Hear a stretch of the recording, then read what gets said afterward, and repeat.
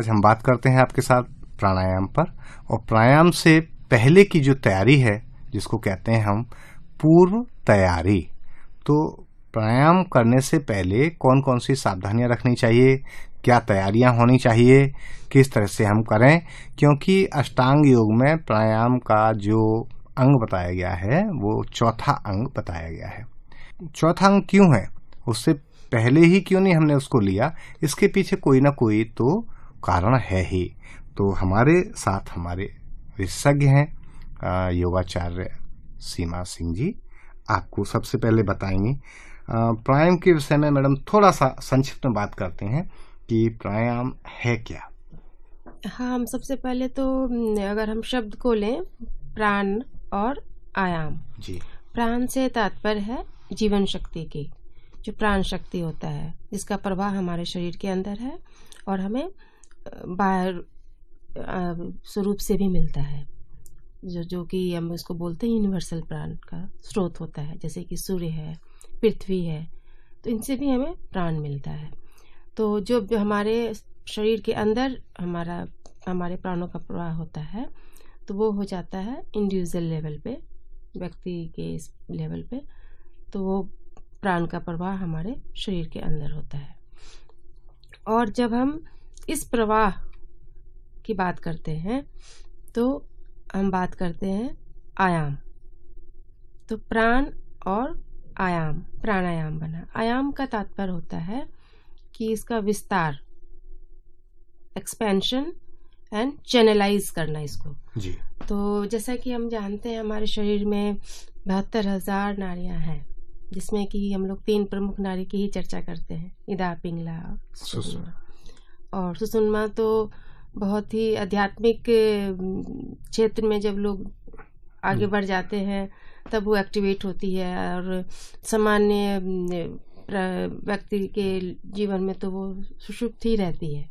सामान्य व्यक्ति जो होता है उसके जीवन में हमेशा वो सुसुप्त ही रहती है। जब तक उसको जागृत नहीं किया जाए। हाँ। और हमारी जो ईडा और पिंगला है वो वो तो चलती चलती रहती है, है। जी। तो जैसा कि हम बात कर रहे थे अभी कि आयाम मीन्स की उसका एक्सपेंशन एंड चैनलाइजेशन जी।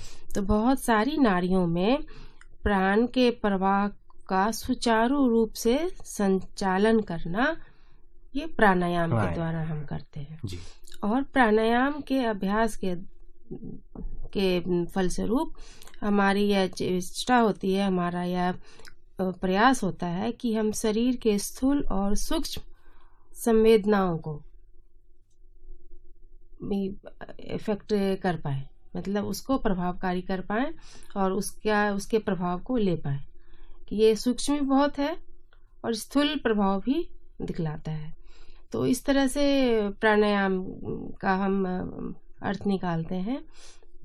और दूसरी बात यह है कि प्राणायाम करने के पहले हमें बहुत बातों को समझना होगा। जी।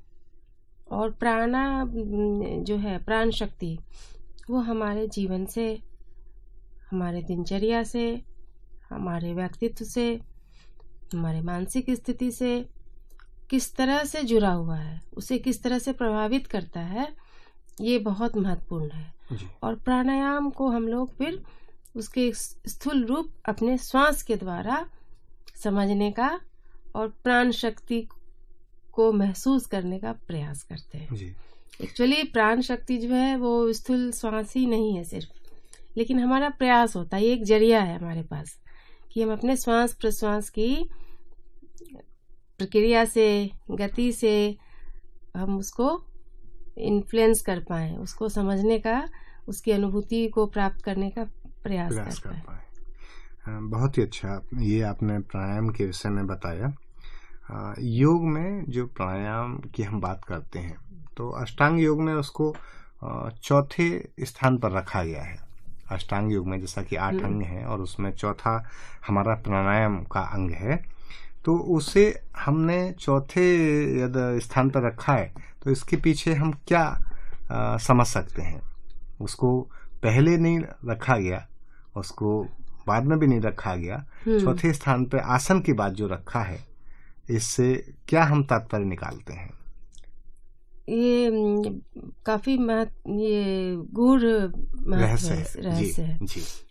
ये तो पतंजलि योग के सिद्धांत के अनुसार है। जी जी। और पतंजलि योग के सिद्धांत के अनुसार कि पहले यम नियम का होना चाहिए। या। उसके बाद आसन। आसन के बाद प्राणायाम किया जाता है। प्राणायाम कभी भी आसन से पहले नहीं किया जाता। वैसे भी इन दिनों जो लोग भी अभ्यास करते हैं तो ये हमेशा होता है कि आसन के पश्चात प्राणायाम और प्राणायाम के पश्चात ध्यान, मुद्रा की अभ्यास होती है। जब हम पतंजलि के अष्टांग योग के देखेंगे तो प्राणायाम के बाद प्रत्याहार है। प्राणायाम बहिरंग योग के लास्ट अभ्यास है। अंतरंग योग होता है प्रत्याहार, धारणा, ध्यान, समाधि। वो अंतरंग योग कहलाता है। जी। तो वहाँ का ये एक तरह से गेटवे है अंदर जाने का। और हम प्राणायाम में श्वास की भी बातें करते हैं। और जो हमारा श्वास है वो भी हमारे बॉडी एंड माइंड का कनेक्टिंग लिंक है। जैसा कि हम पाते हैं कि हम एकदम से तेज आवेश आ जाता है गुस्सा आ जाता है। सबसे पहले हमारी श्वास बदलती है। जी। या हम एकदम से भागते हैं या कभी हम डर जाते हैं तो हमारा जो मानसिक स्थि- स्थिति है जो मानस पटल है वो श्वास से प्रभावित होता है और श्वास हमारे मानस पटल से प्रभावित होता है। ये दोनों वाइस वर्षा है। जी। कब कौन डोमिनेंट होगा ये हम नहीं ये कह सकते। जब हम प्रत्याहार और धारणा के इसमें आ जाते हैं स्थिति में आ जाते हैं तब हमारा मानस पटल डोमिनेंट होता है। जी। तो पहले हम क्या करते हैं? आसन करके अपने शरीर को इस अपने जो प्राणिक शक्ति है उसको स्टिमुलेट किए और अपने पूरे शरीर की को सुदृढ़ बनाए लचीला बनाए।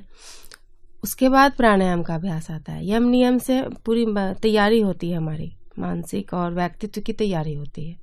पहले ऐसा माना जाता था, सब लोग को योग में आने से पहले एक मॉरल एजुकेशन इसको आज के भी संदर्भ में मान लें, एक प्रॉपर नैतिक शिक्षा और एक अच्छी जीवन शैली जीने की आदत डालने के लिए प्रेरित किया जाता था। उसके बाद आसन में आने हाँ। और आसन हो जाए तब हम प्राणायाम करेंगे। और प्राणायाम के बाद तो फिर धारणा ध्यान। बिल्कुल बहुत ही अच्छा बहुत ही अच्छी तरीके से आपने हमारे शिक्षार्थियों को ये बताया कि प्राणायाम का महत्व और क्यों उसको चौथे स्थान पर रखा गया है। पहले हमने नहीं रखा उसको ये बात तो सत्य है क्योंकि इसके क्रम में जो हमने पतंजलि ऋषि जो हैं उन्होंने जो उसको रखा है यम और नियम उसके पश्चात आसन। ये तीन इस अंग इस तरह से पहले से बनाई। उसके पश्चात प्राणायाम को उन्होंने सामने रखा। फिर उसके बाद प्रत्याहार को उन्होंने लिया। तो हम्म, जो बहिरंग वाली बात है ये आपने बहुत ही सही मतलब हमारे शिक्षार्थियों को बताया कि किस तरह से गेट वे उनको एंट्री करने के लिए वहाँ पर वहाँ मिलती है और तब वो अंतरंग में एंटर हो जाते हैं धारणा ध्यान समाधि में। तो प्रत्याहार तक ये जो स्थिति है पाँचों अंग ये पहले बहिरंग के अंतर्गत रखे हैं। और प्राणायाम में जो आपने सबसे महत्वपूर्ण बात बताई है वो कि किस तरह से जब हमारी मानसिक स्थिति चेंज होती है या कोई भी स्थिति ऐसी आ जाती है जिसमें हमारी श्वास बहुत तेज़ी से चलने लगती है तो वो भी बहुत मायने रखती है। और प्राणायाम में जो अगर जो लोग प्राणायाम करते हैं ठीक से तो उनका मेरे ख्याल से जो श्वसन की जो बहुत सारे डिसऑर्डर्स जिस तरह से हो जाते हैं लोगों को तो वो सारी चीज़ें उनकी संभावनाएँ खत्म हो जाती हैं। और भी हाँ, बहुत सारे। प्राणायाम के फ़ायदे हैं यहाँ पे सर एक प्रैक्टिकल जो। मैंने देखा है जो मैम बता रही थी तो मैं सुन रही थी कि मैं एक्यूट अस्थमा की पेशेंट हूँ। जी। तो मैंने देखा है कि जब भी बहुत तेज कभी जब गुस्सा आता है जी। तो सबसे पहले जो इफेक्टेड होती है वो होती है हमारी ब्रीदिंग प्रॉब्लम और ब्रीदिंग प्रॉब्लम के बाद फिर खांसी आनी शुरू होती है फिर बोलने में प्रॉब्लम होने लग जाती है. तो उसके बाद जब मुझे आ, किसी ने बताया कि प्राणायाम करने के लिए तो मैं बहुत ज़्यादा तो नहीं कर पाती हूँ लेकिन जो मैंने स्टार्ट किया जो स्टार्टिंग लेवल जो प्राणायाम जब शुरू किया अनुलोम विलोम से स्टार्ट किया फिर ध्यान करना शुरू किया तो उससे मैंने ये देखा कि एक बहुत पूरी तरह से वो क्योर तो नहीं हुआ, लेकिन ये है कि मतलब कंट्रोल में होने लग गया वो, कि जो पहले ये होता था कि अगर कभी एकदम से सडन अगर रिएक्शन कुछ भी किया तो वो ब्रीदिंग प्रॉब्लम होने लग जाती थी खांसी आती थी ड्राई खांसी जो है वो आती थी वो सब कंट्रोल होने लग गया धीरे धीरे एक्चुअली ये ना एक इसको विस्कस सर्कल बोलते हैं। एक दूसरे को इन्फ्लुएंस करता है एक दूसरे को बढ़ा देता है। जी। तो जैसे हम प्राणायाम करते हैं तो आज हम लोग जो बात करेंगे इसकी तैयारी उसमें इन विषयों पर चर्चा करेंगे। तो ऐसा होता है कि अगर हम एक कंपोनेंट को ऑब्ज़र्व किया उसको कंट्रोल कर लिए तो फिर दूसरा कंपोनेंट अपने आप कंट्रोल होगा। इसमें थ्री कंपोनेंट्स एक है फ़िज़िकल सिम्टम्स जी। फ़िज़िकल कंडीशंस बॉडी का। एक है ब्रेथ दूसरा है हमारा मेंटल स्टेट जी जी। ठीक है? और हमारे मेंटल स्टेट से हमारा ब्रेथ कम डिस्टर्ब हुआ फिर हमारे फ़िज़िकल कंडीशंस वैसे हो गए। और फ़िज़िकल कंडीशन ऐसे हो गए वो ब्रेथ को और खराब कर दिया खांसी आ गई क्योंकि वो स्पाज्म जैसी स्थिति आ जाती है। फिर वैसा हो गया तो मन और घबरा गया। जी बिल्कुल। ठीक है? तो वो स्टार्ट रहता है। लेकिन हमारे पास में एक है कि हमने एक अभ्यास किया तो हमारे पास में एक ब्रेथ ऑब्जर्वेशन आया कि हम अपने ब्रेथ को ऑब्ज़र्व किए उसके बाद उसकी कभी प्रैक्टिस करते हैं हम अपने ब्रेथ को ऑल्टर करना चाहते हैं। तो उससे क्या हुआ कि हम इस जो एक बनी हुई है सर्कल इसको रोक करके उसको हम करेक्ट करने के और में जा रहे हैं। तो इस तरह से वो धीरे धीरे चीज़ें फिर थोड़ी सी व्यवस्थित हो जाती है। जी जी जी। बिल्कुल बिल्कुल। तो आप अस्थमा के पेशेंट रहे हैं और ये आपने बिल्कुल प्रूव कर दिया। हमारे शिक्षार्थी जो इस समय इस कार्यक्रम को सुन रहे हैं वो बिल्कुल निश्चित रूप से समझ सकते हैं जान सकते हैं कि इसके व्यवहारिक जो प्रयोग हैं वो बहुत महत्वपूर्ण है और वास्तव में कारगर भी हैं। जो डिसऑर्डर्स होते हाँ, हैं उनको किस तरह से बिना किसी दवा के बिना किसी औषधि के ये उसको ठीक करते हैं। जी। तो ये बहुत ही अच्छा कार्यक्रम है योग में इसमें कोई दो राय नहीं है। तो प्राणायाम से पहले क्या हमें पूर्व तैयारी करनी चाहिए? हम इस संदर्भ में आते हैं। यदि हमें आसन हम कर चुके हैं तब और प्राणायाम करने से पहले की स्थिति की हम बात कर रहे हैं या किस तरह से हम पूर्व की बात कर रहे हैं? सबसे पहले तो हमें ये समझना होगा कि प्राणायाम में चार कंपोनेंट होते हैं इसके। एक तो है रेचक एक जैसे श्वास लेते हैं इनहेलेशन श्वास छोड़ते हैं। अंत कुंभक जो इनर रिटेंशन होता है बहिर्कुंभक जो आउटर रिटेंशन होता है। तो इस तरह से चार कंपोनेंट होते हैं रेचक पूरक अंत कुंभक बहिर्कुंभक। तो पहले तो हमें इस चीज़ को समझना होगा और प्रैक्टिशनर को भी समझाना होगा। और इसको ब्रेथ ऑब्जर्वेशन बहुत ज़रूरी होता है प्राणायाम की तैयारी में कि हम अपने ब्रेथ को पहले ऑब्ज़र्व करें क्योंकि हम ये हम मानव जाति को ही ये क्षमता प्राप्त है कि हम अपने श्वास को ऑल्टर कर सकते हैं। एनिमल्स ऐसा नहीं कर सकते। उनका जो ब्रेथ है अनकॉन्सियस है। हमारा ब्रेथ अनकॉन्सियस और कॉन्सियस दोनों है। दोनों जब हम प्राणायाम करने बैठेंगे तो हमारा कॉन्सियस ब्रेथ को हम यूज़ करेंगे। जी। तो सबसे पहले हमें ब्रेथ अवेयरनेस करना चाहिए कि हमारी जो साधारण सहज श्वास की गति है हम उसको ऑब्ज़र्व करें उसका अवलोकन करें उसको देखें कि हम श्वास ले रहे हैं नासिकाग्र से श्वास छोड़ रहे हैं। हमारे नासिकाग्र में क्या सेंसेशन हो रहा है क्या परिवर्तन हो रहा है? कई बार लोग महसूस कर सकते हैं कि थोड़ी सी गर्माहट हो रही है जब श्वास छोड़ रहे हैं। ये डिपेंड करता है क्लाइमेट पे भी। दूसरी बात है कि हमारे बॉडी में किस किस रेस्पिरेटरी मसल्स में कैसे चेंज हो रहे हैं। इसमें रीढ़ की हड्डी बिल्कुल सीधी होनी चाहिए। इसीलिए प्राणायाम के पहले आसन करना होता है। अगर मेरुदंड सीधा नहीं होगा तो प्राणायाम का अभ्यास सही नहीं होगा। किसी भी प्राणायाम के अभ्यास में मेरुदंड सीधा होना चाहिए। ये तो सबसे इम्पोर्टेंट बात है मेरे ख्याल से कि हम्म, जो प्राणायाम करते वक्त व्यक्ति को सीधी अपनी मेरुदंड को करके बैठना चाहिए। हाँ। और ऐसा सुझाया गया है कि सिद्धासन सिद्ध योनि आसन सबसे अधिक लाभकारी। लाभकारी बताया गया है प्राणायाम के लिए। लेकिन जो लोग नहीं बैठ पाते हैं जैसे जिनको बैक प्रॉब्लम है तो उनको वज्रासन सोचा गया है कि वो वज्रासन में भी बैठ सकते हैं। पद्मासन या हाँ। नहीं पद्मासन भी तो प्रॉब्लम होगी जिनको साइट का या स्लिप डिस्क है। हाँ उनके लिए बिल्कुल हाँ। होगी तो वो और जिनको मान लीजिए घुटना में भी प्रॉब्लम है तो वो वज्रासन में भी नहीं बैठ बैठ सकते। सकते। चेयर सिटिंग में भी कर सकते हैं लेकिन रीढ़ की हड्डी बिल्कुल सीधी सीधी रहनी चाहिए। हाँ। तो एक तो ये महत्वपूर्ण बात हुई दूसरा है ब्रेथ अवेयरनेस कि श्वास के साथ हमारे बॉडी में जो मूवमेंट्स हो रहे हैं। तो हमारे एब्डोमिनल मसल्स में होता है थोड़ा मूवमेंट्स कभी चेस्ट मसल्स में होता है अपर बैक में होता है।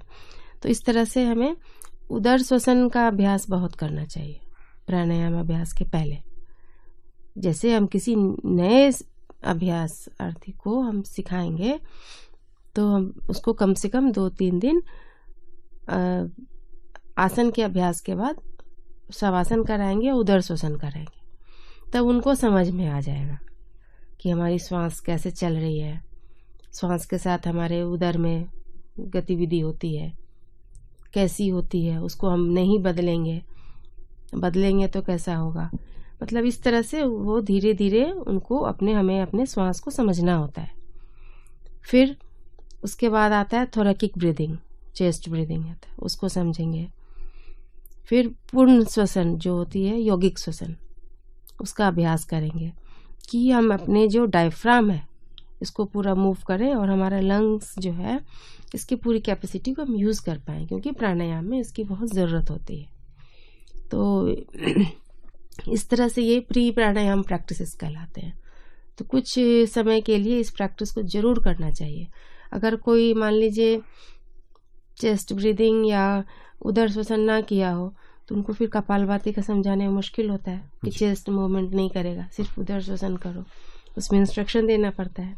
तो इसके लिए तो उनको एक पहले से एक अभ्यास रहेगा उधर श्वसन का और यौगिक श्वसन का तो उनको समझने में सुविधा होगी। तो इस तरह से ये तो श्वसन संबंधी तैयारी हो गई। कुछ आसन भी हैं जो प्री प्राणायाम आसन कहलाते हैं। जी। उसमें है हस्त उत्थान आसन एक। और है जो हैंड जॉइंट्स जो सूक्ष्म व्यायाम के जो हाथों के अभ्यास हैं, उसमें है शोल्डर सॉकेट रोटेशन ये कर सकते हैं। और भी एक दो है जिसमें चेस्ट को एक्सपैंड करते हैं। कई बार, किसी को जैसे श्वसन संबंधी प्रॉब्लम है बहुत तो बहुत ज़्यादा वो अभ्यास नहीं कर सकते आसन का भी। तो थोड़ा सा उनके रेस्पिरेटरी मसल्स को रिलैक्स करना होता है। तो उसके लिए हम लोग सूक्ष्म व्यायाम के जो हाथों वाले अभ्यास हैं, उससे प्रभाव पड़ता है। उसको रिलैक्स कराया, फिर वो हस्त उत्थान आसन कराया, एक और आता है द्विकोण आसन उसमें भी चेस्ट खुलता है थोड़ा। वो करा करके फिर प्राणायाम करवाते हैं। तो उससे उनके श्वसन की जो गति है, वो थोड़ी लंबी और गहरी होती है। सबसे महत्वपूर्ण बात यह है कि आसन करने से कुछ आसन तो ऐसे हैं जैसा कि अभी आप बता रहे हैं उनके करने से हमारा चेस्ट जो है वो थोड़ा सा expand होता है, relax होता है। रिलैक्स होता है। तो उससे काफ़ी हद तक प्राणायाम करने में हमें मदद मिलती है और हम ठीक से प्राणायाम कर पाते हैं। हम्म, हम्म, तो आसन को इसीलिए थर्ड नंबर पे उसके पश्चात उसको हम्म। चौथे नंबर पे रखा गया है। तो आसन काफ़ी मदद करता है उस दिशा में जाने के लिए। हाँ, एक क्रम है। इसका एक रेशियो भी होता है जी। कि मान लीजिए हम फोर्टी मिनट्स आसन कर रहे हैं तो फिफ्टीन और ट्वेंटी मिनट्स प्राणायाम करेंगे। लोग क्या करते हैं? एक घंटा आसन करते हैं पाँच मिनट प्राणायाम करते हैं।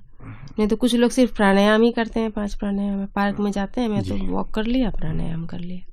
जबकि कायदे में आ, तो आसन ये- का फोर्टी मिनट्स का हम्म। अगर हम करते हैं आसन तो फिफ्टीन ट्वेंटी मिनट्स का प्राणायाम। यानी एक घंटे में हमारा ये रेसो रहे तो एक हमारे लिए लाभकारी है और उपयोगी सिद्ध होगा। हम्म, हाँ मोस्ट ऑफली व्यवहारिक रूप से लोग कई बार इस तरह से नहीं करते तो इसका हम यही कारण समझ सकते हैं कि उनको वो जानकारी या तो नहीं है जानकारी का हाँ, अभाव है। सही जानकारी और नहीं बिना है, जानकारी के अभाव में आ, कुछ भी किया जा सकता है। और सिर्फ़ कहते हैं ना कि अधूरा ज्ञान जो होता है वो बहुत खतरनाक खतरनाक होता खतरनाक है। होता है बिल्कुल ठीक तो बात है। योग को लेकर के लोगों के अंदर एक धारणा बनी हुई है कि इसमें हम कुछ खा तो रहे नहीं है कि वो डायरेक्टली हमारी बॉडी को अफेक्टेड कर रहा है। तो हम कैसे भी करेंगे तो ये हमको फ़ायदा ही करेगा। तो लेकिन लोग ये भूल जाते हैं कि कई बार क्या होता है कि जो चीज़ें आप ओरली नहीं ले रहे हैं आप एक्सरसाइज भी अगर कर रहे हैं और आपने अगर गलत ढंग से कर लिया तो फिर वो एक दूसरी समस्या को जन्म दे सकता है। बिल्कुल बिल्कुल ठीक कहा आपने। हाँ। ये नहीं समझना चाहिए कभी ये शिक्षार्थियों को तो बिल्कुल निश्चित रूप से जानने के लिए और समझने की बात भी है जी। कि किस तरह से हमें प्राणायाम और आसन करनी चाहिए जैसे सर अम, क्या था ना कि योग को लेकर के मैंने देखा है कि योग जो है उसको लोग अ, एक फ़ैशन के तौर पर जो है उसको हाँ, कर एक्सेप्ट हैं। बहुत लगे। लाइटली हाँ, लाइटली करते लाइटली हैं। लेते हैं और अ, मैंने देखा है कि मैं, मैं जिस जगह काम करती हूँ हमारे ऑफ़िस में मैंने देखा कि एक सज्जन जो थे वो खाना खाने के तुरंत बाद योग करने बैठे हुए थे थोड़ी देर के बाद। तो मैंने कहा कि आप ये क्या कर रहे हैं? तो कह रहे हैं कि योग कर रहा हूँ तो खाना खाने के बाद ये करना चाहिए डाइजेशन के लिए अच्छा होता है। तो मैंने कहा कि हमने तो यही सुना है कि एक ब्रेक होता है आप खाना खाने के कम से कम एक डेढ़ घंटे के बाद जब आपका स्टमक वो खाना डाइजेस्ट हो जाए उसके बाद आप कर सकते हैं लेकिन योग का तो सही समय जो है वो सुबह और शाम ही मानते ही कि मॉर्निंग में आप सूर्योदय के समय करें और शाम को आप बेड पे जाने से पहले आप हल्के फुल्के योगा करें ताकि आपको नींद आए। तो कहते हैं नहीं जी इससे कुछ नहीं होता है। तो तब मैंने देखा कि ये समझाना बेकार है यहाँ पर क्योंकि आधा ज्ञान जो होता है वो बहुत खतरनाक होता है। तो मतलब ये चीज़ें उभर कर ज़्यादा सामने आ रही हैं कि सोसाइटी में योग के बेनिफिट्स को समझने से ज़्यादा योग को लोगों ने फ़ैशन के तौर पे ज़्यादा लेना शुरू कर दिया है। बिल्कुल। और नहीं वो जो लोग भी- जो भी कर रहे हैं अभ्यास जी। उसमें योग बहुत कम लोग कर रहे हैं। अगर आप देखेंगे अगर हम ऐसा माने कि हंड्रेड लोग कर रहे हैं अभ्यास उनके हिसाब से योग कर रहे हैं। जी। लेकिन उसमें टेन परसेंट ही योग कर रहे हैं। उस टेन परसेंट में से भी कुछ कम ही हैं जो कि सही और निर्देशित रूप से अच्छे से योग कर रहे हैं और उनको उनका ज्ञान लाभ मिल रहा है। जी। ये बात बिल्कुल ठीक कहा आपने सीमा जी। योग कोई फ़ैशन के रूप में नहीं लिया जा सकता। ये हमारे स्वास्थ्य के लिए हितकर हो लाभदायक हो हमें इस दिशा में काम करना चाहिए। बिल्कुल। ये एक विद्या है ये एक शास्त्र है ये। बहुत सूक्ष्म ज्ञान है। तो योग विद्या को सबसे पहले तो हमें कोशिश हम करें कि किसी अच्छे योग के टीचर योगाचार्य के मार्गदर्शन में करें तो बहुत बेहतर होगा। और यद अ, ये नहीं भी हम इस तरह से कोई हमें टीचर मिल पाता है फिर भी हमें उसकी पूरी जानकारी ले लेनी चाहिए कि योग अभ्यास करने से पूर्व कौन कौन सी सावधानियाँ और कब करना चाहिए कैसे करना चाहिए। जैसे अभी आपने बताया तो खाना खाने के तो तीन घंटे के बाद ही कहीं योग करना चाहिए। जी और बिल्कुल प्राणायाम भी। जी। कोई भी अभ्यास आप केवल एक ही हमारा योग आसन है। जो हम खाना खाने के पश्चात कर सकते हैं और बड़ा अच्छा आसन है वो वज्रासन। जो। वज्र की तरह बना देता है डाइजेस्टिव सिस्टम को बहुत अच्छा रखता है। तो केवल एक ही आसन है इस तरह का वो हम कर सकते हैं। बाकी ये बहुत ही समय का जैसे आपने बताया कि सुबह शाम को ये बहुत ही अच्छा रहता है। सुबह की ताजगी जिसमें ऑक्सीजन प्रचुर मात्रा में होती है। जी। और जो अगर अ, आप ब्रह्म मुहूर्त में नहीं कर पाए हैं तो सूर्योदय के समय बहुत ही अच्छा समय है। और जो अगर सूर्य नमस्कार कर रहे हैं और सूर्य सामने से निकल रहा है तो आपके तो बहुत लाभदायक है। बहुत ही अच्छा है। और सर अ, इसका तो इतना फास्ट रिज़ल्ट देखने को मिला है योग का कि मैंने देखा मैं जिस जगह पे रहती थी एक लड़की थी जो कि ओबेसिटी की शिकार थी।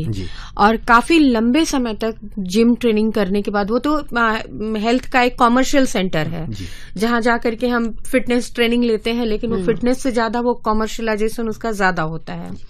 लेकिन आ, फिर मैंने देखा कि उसने योग क्लासेस शुरू की और योग क्लासेस में 15 डेज़ के बाद वो रिज़ल्ट सामने आने लग गया। फिफ्टीन डेज़ 15 डेज़ में मतलब आ, हमारे लिए वो एक आश्चर्य की बात थी really कि जो ओबेसिटी के शिकार तीस किलो की लड़की जो है फिफ्टीन डेज़ में अगर वो एट्टी केजी पर आती है तो वो फ़र्क दिखता है। बिल्कुल बिल्कुल दिखाई देता है। और वो फ़र्क मतलब इतना सुंदर फ़र्क था कि अगर आप प्रॉपर किसी योगाचार्य के निर्देशन में अगर आप योग कर रहे हैं और आप उसको सही ढंग से फॉलो कर रहे हैं तो वो रिज़ल्ट सामने आता है। लेकिन अगर आपने फ़ैशन के तौर पर अगर उसको एक्सेप्ट किया हुआ है तो फिर उसका तो, तो उसका रिज़ल्ट सामने नहीं, नहीं आएगा, आएगा। क्योंकि योग में न केवल यौगिक अभ्यास की हम बात करेंगे उसमें हमारा जो खान पान है हमारा व्यवहार है हमारा रहन सहन है हमारा जो भी आहार विहार है ये सब कुछ उसमें मायने रखता है। हाँ और मुख्य बात यह है कि योग जो हमारा आंतरिक सारे जो बॉडी के सिस्टम्स हैं उसको करेक्ट करता है। अगर कहीं भी कुछ त्रुटि है कुछ है तो उसको वो बैलेंस करता है। और जिम में या कुछ में सब में तो हम अपना जो एक्सेस फैट है उसको कम करना चाहते जी हैं। बिल्कुल। तो ये अप्रोच ही बिल्कुल डिफरेंट है। तो तो शिक्षार्थियों को ये बहुत ही आवश्यक है समझना कि वैसे तो जिम लोग जाते हैं बहुत सारे अलग अलग तरह के अभ्यास आप करते हैं लेकिन योग का अपना एक महत्व है। इसको एक फ़ैशन के रूप में ना लेकर के जो अगर आप इसको एक विद्या के रूप में लेते हैं और इसको सही मार्गदर्शन में आप करते हैं तो निश्चित रूप से इसका लाभ आपको मिलता है। और यहाँ पर हम एक छोटा सा ब्रेक लेते हैं और बहुत जल्द हम इसी कार्यक्रम में आपके साथ पुनः मिलते हैं इस ब्रेक के बाद। मुक्त विद्यावाणी मुक्त है विद्यावाणी। ज्ञान अस्मित और अपार सरल पाठ्यक्रम आपके द्वार। सभी पढ़े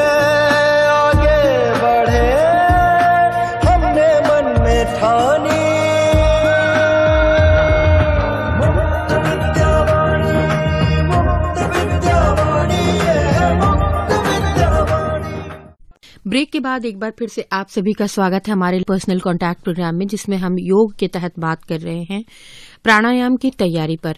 और हमारे साथ हमारे विशेषज्ञ के तौर पर हैं योगाचार्य सीमा सिंह जी और आपसे बातचीत कर रहे हैं हमारे senior executive officer NIOS doctor P K Chauhan sir break से पहले हम जिन विषयों पर बात कर रहे थे, हम अपनी चर्चा को कंटिन्यू करते हैं। जी, बिल्कुल। प्राणायाम में ध्यान रखने योग्य बातें कौन कौन सी हैं? सबसे पहले हम इस पर चर्चा करते हैं। हाँ जैसे कि प्राणायाम का जब हम अभ्यास करेंगे तो एक बार हम सारे पॉइंट्स का डिस्कस कर लें। इसमें एक दो मैंने डिस्कस कर लिया, ये हमेशा आसन के बाद होता है और ध्यान और इस तरह से मुद्रा के अभ्यास के पहले होगा। इसमें मेरुदंड हमेशा सीधी रहेगी। इसके जो, ट्रेडिशनली जो इसके पोस्चर्स हैं, वो सिद्धासन, पद्मासन, इस तरह के आसन हैं। और, प्राणायाम हम करते हैं एक प्रॉपर योग के जैसे योग मैट जो बैट कंडक्टर होता है, कंबल आइडियली लोग पहले उपयोग करते थे, उस पर बैठ के करते हैं। और अगर सर्दी का मौसम है तो शरीर को एक चादर से ढक के किया जाता है। और शरीर को पहले हम एक आसन में स्थित कर लेते हैं। उसके बाद शरीर में कोई हलचल नहीं होती है। फिर हम ब्रीदिंग प्रैक्टिस ही करते हैं। तो इस तरह से प्राणायाम का अभ्यास होता है शुरू। फिर अगर किसी को कोई प्रॉब्लम है जैसे कि स्टमक इन्फेक्शन है या कोई तबीयत खराब हुई है बहुत तो नहीं करना चाहिए। लूज मोशन हो रहा है तब भी नहीं करना चाहिए। नहीं करना चाहिए। कई बार प्राणायाम के बाद भी लूज मोशन हो जाता है। जी। क्योंकि ये हमारे टॉक्सिन्स को ऊपर लेवल पे लाता है। इस तरह से बहुत सारे लोगों को जैसे कभी फीवर भी होता है या हाँ। हल्का फीवर होता है तब भी तो हमें उसको नहीं करना नहीं चाहिए। करना चाहिए। उसमें सिर्फ़ हम लोग यौगिक श्वसन या उदर श्वसन का सलाह देते हैं। डीप ब्रीदिंग से फ़ायदा होता है। कुछ लोग ना डीप ब्रीदिंग को भी प्राणायाम करते हैं। लंबी सांस लेना छोड़ना उसको भी प्राणायाम समझते हैं। नहीं वो वो प्राणायाम नहीं है। उसको डीप ब्रीदिंग कहते हैं। तो इन इन चीज़ों को समझना होगा कि डीप ब्रीदिंग जो है लंबी गहरी सांस लेना अलग है।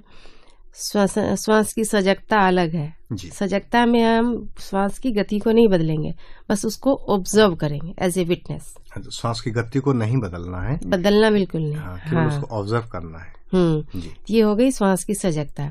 तो प्राणायाम के पहले श्वास की सजगता होनी चाहिए। सजगता बहुत अनिवार्य है। हाँ। जी। उसके बाद आप जब हम श्वास के प्रति सजग होंगे तो श्वास हमारा स्वयं ही बहुत सहज और लंबा लंबी और धीमी गति की हो जाएगी। तो उसके बाद हम ये करते हैं। या फिर और इस अगर कोई शारीरिक कठिनाई हो तो विशेषज्ञ के परामर्श के साथ करना चाहिए। तो इन बातों का हमें ध्यान रखना विशेष रूप से ध्यान रखना चाहिए। तो शिक्षार्थियों, आपने जाना कि किस प्रकार हमें जो ध्यान रखने योग्य बातें हैं, वो हमें ध्यान रखनी चाहिए। और यहाँ नेक्स्ट हम बात करते हैं कि कक्षा की तैयारी। जब हमारा योग की, प्राणायाम की कक्षा हो तो उसमें क्या क्या तैयारी होनी चाहिए, इस पर हम चर्चा करते हैं। तो योग कक्षा की तैयारी, जैसे हम योगाभ्यास आसन का कर रहे थे, प्राणायाम की कक्षा भी वैसी ही होती है लेकिन बहुत ज़्यादा हवादार नहीं होना चाहिए। फ्रेश वेंटिलेशन होना चाहिए। फ्रेश। हाँ जैसे कि मान लीजिए टेरेस पे कर रहे हैं और बहुत तेज हवा आ रही है तो वो प्राणायाम के लिए अच्छा नहीं है। अच्छा। और वहाँ आसपास में किसी भी तरह का धुआँ नहीं होना चाहिए। मतलब हवा जो है वो स्वच्छ होनी चाहिए। हाँ शुद्ध और स्वच्छ होनी चाहिए। हाँ। किसी भी तरह का गंध वाली चीज़ नहीं होनी चाहिए। हाँ जैसे कई बार क्या होता है कि इस तरह की कॉलोनियाँ बसी हुई हैं जहाँ पर हम्म। कूड़ा कचरा ढेर लगा है वहाँ पर या फिर वहाँ पर तो वो हमारे न- मा, मानस पटल को हमारे मानसिक स्तर को इफ़ेक्ट करता है। फिर हमारे अंदर चला जाएगा। और वो फिर हमें इरिटेट करता है। तो उसका इफ़ेक्ट होता है। इसका तात्पर्य ये हुआ कि जहाँ पर इस तरह की गंदगियाँ हैं वहाँ नहीं करना चाहिए। ढेर वहाँ प्राणायाम करना ठीक नहीं है। हम्म जब ये इसमें हम लोग ऐसा देखते हैं ना कि स्मॉग हो गया यहाँ पे पोल्यूशन बहुत ज़्यादा है और लोग जाते हैं मॉर्निंग वॉक करने फिर वहाँ प्राणायाम करते हैं नहीं करना चाहिए नुकसान होगा। तो ये तो बहुत ही महत्वपूर्ण बात है और और एसी में भी नहीं करना चाहिए। जी। जैसे एकदम बंद कमरे में हम अभ्यास करते हैं लोग योग का तो प्राणायाम के पहले क्योंकि उसको बंद कर देते हैं एसी को। तो थोड़ा सा फ्रेश एयर आने दें, क्योंकि जब बहुत सारे लोग अभ्यास कर रहे हैं, कहीं कहीं पचास लोगों का क्लास होता है, सौ लोगों का लोग इस तरह से ग्रुप में क्लास लेते हैं तो प्राणायाम के समय में ध्यान रखना पड़ता है कि प्रॉपर फ्रेश वेंटिलेशन हो। तो ये बहुत आवश्यक है। और नीम का पेड़ अगर हो आसपास तो उसका डबल फ़ायदा हो जाता है जी वो कैसे? कि वो हवा शुद्ध करती है ना हाँ। नीम का पेड़ या फिर योग की कक्षा में आजकल तो बहुत अप्रिशिएट कर रहे हैं बहुत सारे प्लांट्स है जिसमें कि पाम ट्री है और इस तरह के प्लांट्स हैं जो बोलते हैं कि एयर प्योरीफायर का काम करता है। कपूर एयर प्योरीफायर का काम करता है। कपूर। हाँ तो उसके प्रजेंस से बस उसको जलाना नहीं है। हाँ तो वो भी थोड़ा अच्छा होता है। तो ये इन तो- बातों का ध्यान रखना तो है। वाकई आश्चर्यजनक चीज़ें आपने बताई हमारे शिक्षार्थी मैं समझता हूँ कि जिनको ये जानकारी नहीं होगी वो जानकर के प्रसन्न भी होंगे कि यदि कपूर हम पास में खोल के रखते हैं तो इससे भी एक प्योरिफिकेशन होने से काफ़ी शुद्ध हवा आसपास हो जाती है। और छोटे छोटे पौधे खासतौर से पाम ट्रीज की हम बात करते हैं तो उनको भी यदि हम योग का जो हमारा हॉल है वहाँ हम रख सकते हैं। और उससे हमारी शुद्ध हवा हमें प्राप्त हो सकती है। तो उससे तो हम बच ही सकते हैं जो एक पॉल्यूटेड एयर है बाहर की। तो कॉन्फ्रेंस हॉल में यदि हमारा या योग हॉल में हमारा इस तरह के पेड़ पौधे रखे हैं तो वो हमें बहुत ही एक अच्छा वातावरण वहाँ देंगे प्राणायाम के लिए। और ये हमें निश्चित रूप से ध्यान रखना चाहिए कि जैसे अभी बताया फॉग यदि चल रहा है या बहुत पॉल्यूटेड एयर है तो हम प्राणायाम को ना करें तो ज़्यादा बेहतर हुआ। हम्म क्योंकि प्राणायाम करने से उसके फिर नुकसान हो सकते हैं फ़ायदा हाँ। होने की बजाय। हाँ हाँ। तो ये हमें ध्यान रखना चाहिए। और बाकी तो कक्षा की तैयारी में सब सिंपल है जैसे हम योग करते हैं हम्म, उसी और प्राणायाम के अभ्यास में ज़्यादातर हम नाक से ही श्वसन लेते हैं। मुँह से श्वसन की क्रिया नहीं होती है जब तक कोई विशेष निर्देश ना हो। श्वान प्राणायाम में एक दो बार है। यहाँ पर एक छोटा सा एक सवाल और कि अ, हमारा प्राणायाम है जैसे कि महर्षि पतंजलि ने कुंभक रेचक और उसको दिया है पूरक को प्राणायाम के रूप में और उन्होंने कोई नाम नहीं उसमें मेंशन किया है जबकि दूसरे यदि ग्रहण सहायता की हम बात करें दूसरे और योग ग्रंथों की बात करें तो उसमें प्राणायाम के प्रकार अलग अलग से बताए हैं। तो यह हम अपने शिक्षार्थियों को क्या कुंभक रेचक और पूरक के विषय में थोड़ा सा जानकारी दे पाएँगे? हाँ ये तो प्राणायाम की अवस्था है। जी। हमने तो अभी तैयारी की बात की। ये महर्षि पतंजलि के इसमें प्राणायाम को जो उन्होंने डिफाइन किया है कि वो जब हमारा शरीर स्थिर हो जाए और उसमें जो श्वास की गति है उस पर हमारा कंट्रोल हो और उस कंट्रोल ब्रीदिंग में जब हमारा ब्रेथ रिटेंशन कंफर्टेबल हो पाए तो वो प्राणायाम है। कि मतलब बिल्कुल कंट्रोल ब्रीदिंग है बॉडी भी एकदम कंफर्टेबल है और श्वास के जो गति है उस पर हमारा कंट्रोल है। तो ये कहलाया है प्राणायाम। तो ये बहुत ही आपने ठीक से हमारे शिक्षार्थियों को समझाया कि किस प्रकार प्राणायाम हमें करने से पूर्व हमें क्या क्या तैयारी रखनी चाहिए किन किन बातों का ध्यान रखना चाहिए और कौन कौन सी सावधानियाँ हमें इसमें रखनी चाहिए। कब प्राणायाम का सही वक्त है और कब हम उसे ठीक से कर सकते हैं। और सजगता रखने की बहुत आवश्यकता है, इसमें कोई दो राय नहीं है। साथ में अगले हम कार्यक्रम में बात करेंगे कि प्राणायाम है क्या और प्राणायाम के के जो अभ्यास हैं अलग अलग तरह के अभ्यास हैं जैसे कि अभी बताया रेचक कुंभक और पूरक और साथ में दूसरे जो अलग प्राणायाम हैं उन सभी पर हम चर्चा करेंगे। आज हमारी चर्चा प्राणायाम पर यहीं समाप्त होती है। मैं अपने शिक्षार्थियों को बहुत बहुत धन्यवाद देता हूँ। शिक्षार्थियों और श्रोताओं, आप सुन रहे थे हमारा कार्यक्रम जो कि योग पर आधारित था और आज हम बात कर रहे थे प्राणायाम की तैयारी पर। हमारी विशेषज्ञ थी योगाचार्य सीमा सिंह और आपसे बातचीत कर रहे थे डॉक्टर पीके चौहान जो कि एनआईओएस के सीनियर एग्जीक्यूटिव ऑफिसर हैं।